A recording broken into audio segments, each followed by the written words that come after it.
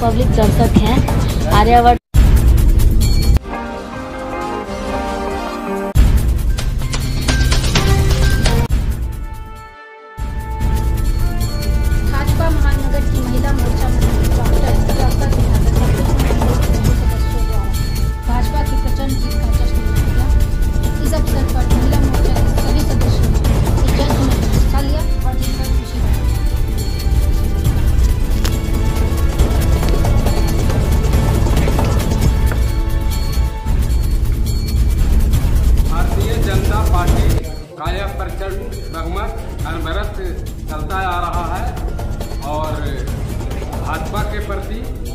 देश के लोगों का